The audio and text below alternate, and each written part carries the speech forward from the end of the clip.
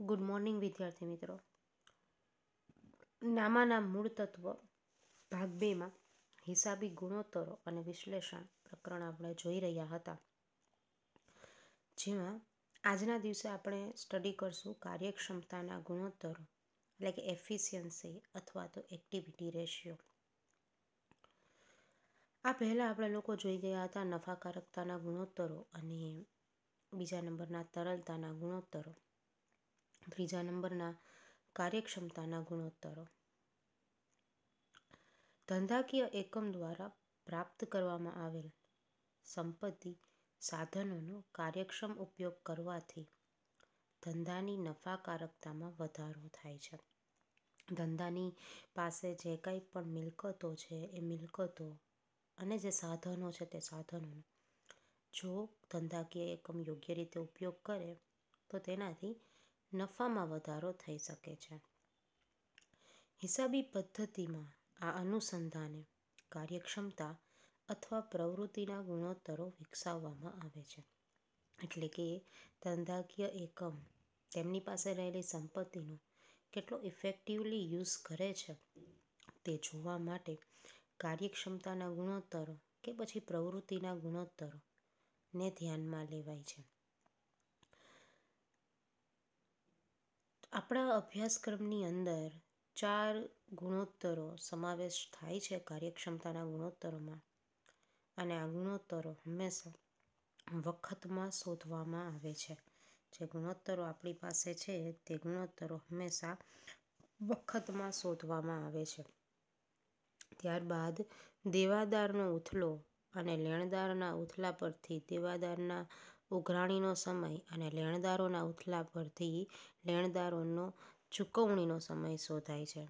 અને આ સમય દિવસો, અઠવાડિયા અને મહિના સ્વરૂપે હોય છે. એ જે તે દાખલા ગણતી વખતે આપણે એનું ઉદાહરણ લેશું. આમ જોવા જઈએ તો પ્રવૃત્તિના ગુણોત્તરોમાં ચાર ગુણોત્તરોનો સમાવેશ થાય. સ્ટોકનો ઉથલો, કાર્યશીલ મૂડીનો ઉથલો, દેવાદારનો ઉથલો અને લેણદારનો ઉથલો. ઉથલો કહો કે ગુણોત્તર કહો, બંને એક જ થાય. તો પહેલાં આપણે જોશું આજના દિવસે સ્ટોકનો ઉથલો. કે સ્ટોકનો ઉથલો કહો કે પછી સ્ટોક ટર્નઓવર રેશિયો કહો કે પછી સ્ટોક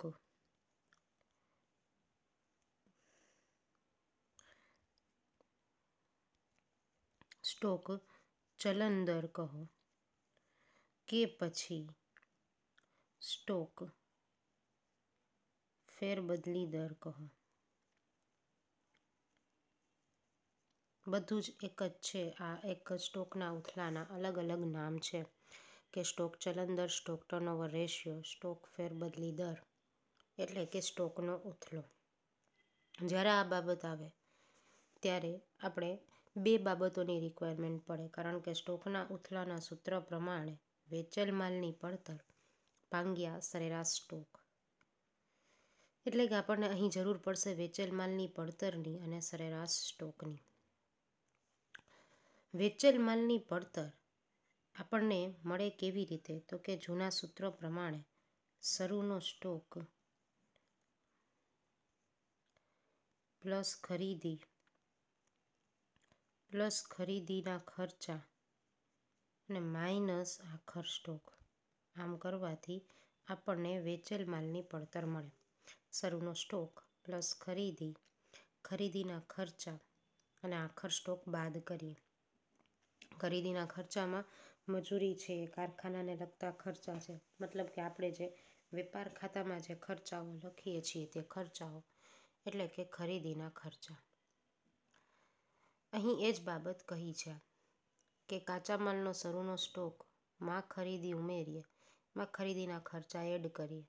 અને આખર સ્ટોક જે છે એ બાદ કરીએ. એટલે કે આપણને મળશે વપરાયેલ કાચા માલની પડતર. અને એમાં મજૂરી અને કારખાના ખર્ચ એડ કરીએ એટલે વેચેલ માલની પડતર મળે. વેચેલ માલની પડતર મળી ગયા બાદ આપણને રિક્વાયરમેન્ટ પડે છે સરેરાશ સ્ટોક. સરેરાશ સ્ટોક એટલે કે શરૂઆતનો સ્ટોક પ્લસ આખર સ્ટોક ભાંગ્યા બી. બરાબર છે.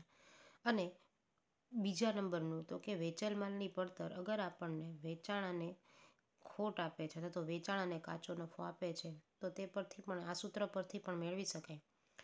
કે વેચલ માલની પડતર બરાબર વેચાણ માઇનસ કાચો નફો. અને જો ખોટ હોય, તો વેચાણ પ્લસ કાચી ખોટ. તો જ્યારે આપણે સ્ટોકના ઉથલાની જરૂરિયાત પડે, તો આપણને બે બાબતની ખબર પડે કે વેચેલ માલની પડતર કેવી રીતે શોધાય. તે આપણે ઓલરેડી કાચા નફાના ગુણોત્તરમાં તો માહિતી મેળવી ચૂક્યા હતા. પણ ફરીથી અહીં જે આપણને બાબત આપી છે એને યાદ રાખવાની કોશિશ કરવાની. અને બીજા નંબરનું કે વેચેલ માલની પડતર આપણે કાચો નફો અને વેચાણ બંને આપેલા હોય તો એ પરથી પણ આપણે શોધી શકાય. સરેરાશ સ્ટોક એટલે કે શરૂઆતનો સ્ટોક પ્લસ આખર સ્ટોક ભાંગ્યા બે. આ ગુણોત્તરનો હેતુ આપણે જોવા જઈએ તો હેતુ મુખ્યત્વે એ છે કે આ ગુણોત્તર દ્વારા ધંધાકીય એકમના સ્ટોકનું વેચાણમાં રૂપાંતર કરવા અંગેની કાર્યક્ષમતાનું માપ છે. એટલે કે ધંધાકીય એકમની અંદર સ્ટોક જે છે એ કેટલો જલ્દીથી વેચાઈ રહ્યો છે. એટલે કે જેટલો વેચાણમાં કન્વર્ટ થાય છે એ માપવા માટેનું સાધન એટલે કે સ્ટોકનો ઉથલો અથવા તો સ્ટોક ચલન દર. એટલે કે સ્ટોકનો ઉથલો જે છે એ વેચેલ માલની પડતર અને સરેરાશ સ્ટોક વચ્ચેનો સંબંધ દર્શાવે છે. કંપની દ્વારા ધારણ એ કરવામાં આવતું હોય છે કે સરેરાશ સ્ટોકનું વર્ષ દરમિયાન કેટલી વખત વેચેલ માલની પડતરમાં રૂપાંતર થયું છે? અથવા તો એમ બી કહી શકાય કે એવું કેટલો સ્ટોક છે કે જેનું વેચાણ થયું છે? તો સ્ટોક જેટલો જલ્દીથી વેચાય એટલો આપણને નફો કે ઇન્કમ વધારે થાય. એટલે એટલી પ્રવૃત્તિ આપણે ત્યાં સારી થાય છે તેમ કહી શકાય. અને એટલા જ માટે સામાન્ય રીતે વલણ જે જોવા જઈએ તે વધતું વલણ જે છે એ સ્વીકાર્ય યોગ્ય છે.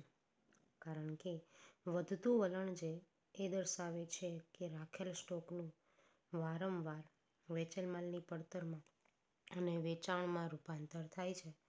મતલબ કે ધંધાકીય એકમની અંદર સ્ટોક પડ્યો નથી રહેતો, વેચાઈ તરત જ જાય છે. એટલે કે ઊંચો ગુણોત્તર, ઊંચું વેચાણ અને ઊંચો નફો એવું સામાન્ય સંજોગોમાં પ્રસ્થાપિત થાય છે.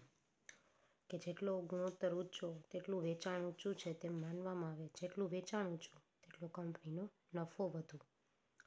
સૈદ્ધાંતિક રીતે વધુ ઊંચો ગુણોત્તર એ કાર્યશીલ મૂડીની અછતનું પરિણામ હોઈ શકે. અને વધુ નીચો ગુણોત્તર સ્ટોકમાં બિનજરૂરી વધુ રોકાણનું પણ કારણ હોઈ શકે. એટલા જ માટે ઇષ્ટતમ સ્ટોક ગુણોત્તર ધંધા માટે હિતાવહ છે. તે અહીં જે પ્રમાણ આવે, આ સ્ટોકનો જે જવાબ આવે, એટલો સ્ટોક આપણે રાખવો હિતાવહ હોય છે. કારણ કે જો વધુ સ્ટોક પડ્યો રહે છે, તેનો મતલબ એમ થાય છે કે આપણે રોકાણ વધારે કરી નાખીએ છીએ. જેટલું જરૂરી છે, એટલું રોકાણ કરીએ. તો સ્ટોક પડ્યો ના રહે, એ જગ્યાએ વહેંચાઈ જાય. તો આજના દિવસે આપણે ઇન્ફોર્મેશન મેળવી કે કાર્યક્ષમતાના ગુણોત્તરો એટલે શું અને એમાં બી સ્ટોકનો ઉથલો એટલે શું? જેના દાખલા આપણે આના પછીના લેક્ચર્સમાં અથવા તો આના પછીના વિડીયોમાં જોશું.